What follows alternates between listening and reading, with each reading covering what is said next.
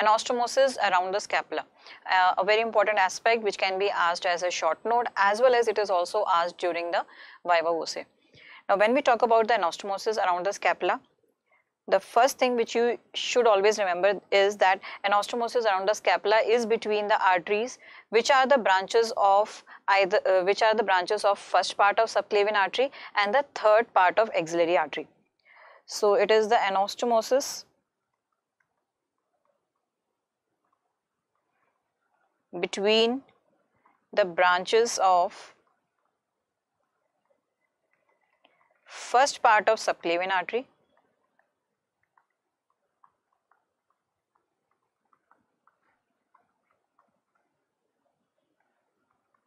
this is the first part and third part of axillary artery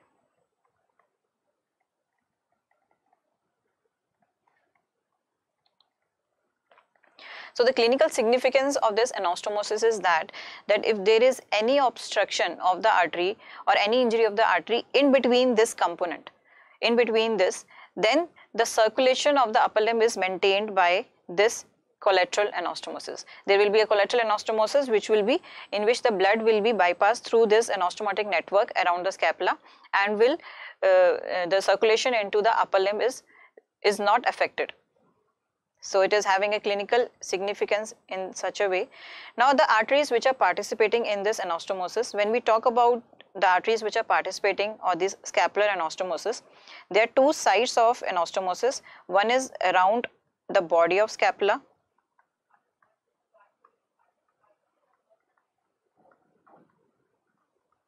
The sides of anastomosis around the body of scapula or it is around the acromion process of scapula.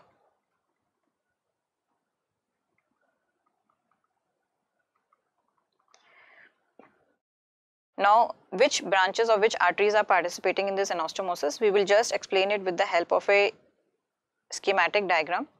If this is the scapula over here,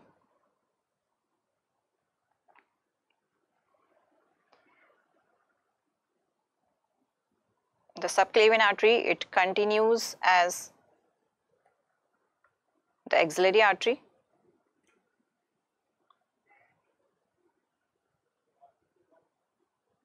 the first part of the subclavian artery, if this is the first part of subclavian artery,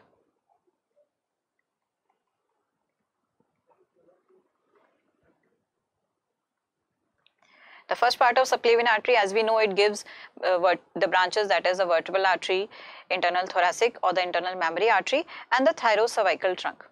Now this thyrocervical trunk, this is the thyrocervical trunk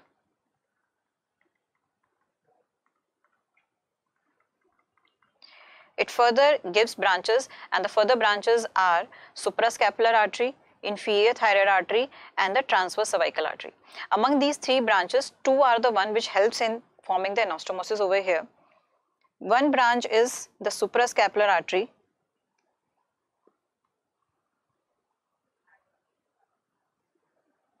This one is the suprascapular artery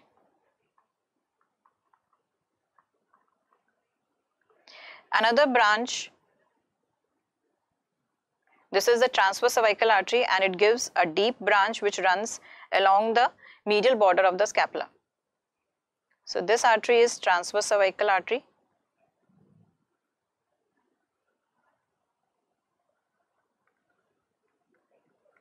And this is its deep branch. This is the deep branch of transverse cervical artery. Now this deep branch, it is further giving branches which is running towards the body of the scapula and will be participating in the anastomosis. Then as we come over here, if this is the third part of the axillary artery,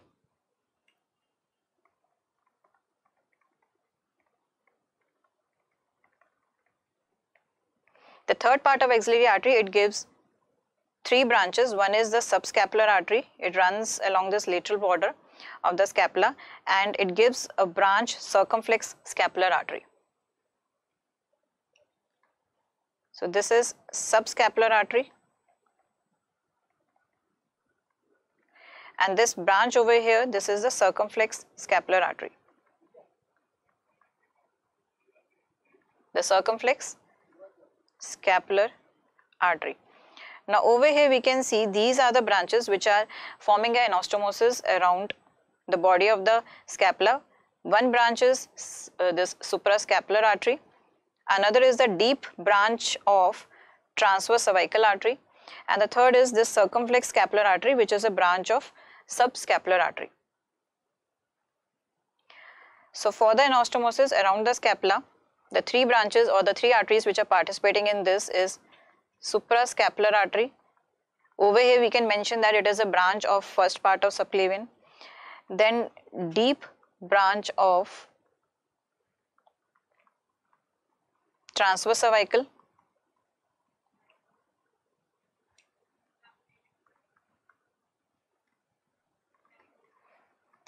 and the circumflex scapular which is in turn a branch of the uh, uh, the subscapular artery.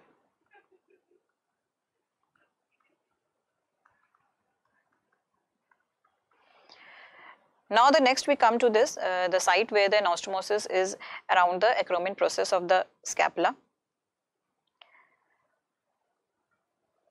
I will just draw it with the green color so that it is evident. Now there is a branch which comes from this suprascapular artery and it is termed as acromial branch of the suprascapular artery. Then over here from the second part we have this thoracoacromial artery.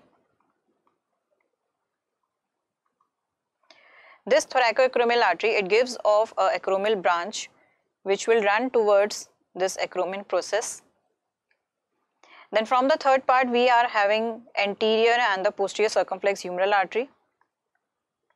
This is a posterior circumflex humeral artery. This posterior circumflex humeral artery it gives off a branch which runs towards the acromion process and these all three acromial branches they form anastomosis around the acromion process. So around the acromion process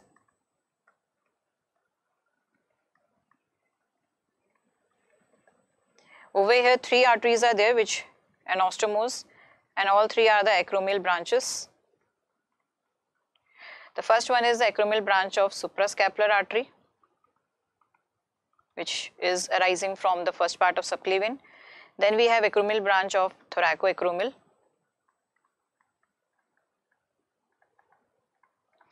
And thirdly, the acromial branch of the posterior circumflex humeral artery. So this is about the anastomosis which is around the scapula, the body of the scapula as well as the acromion process.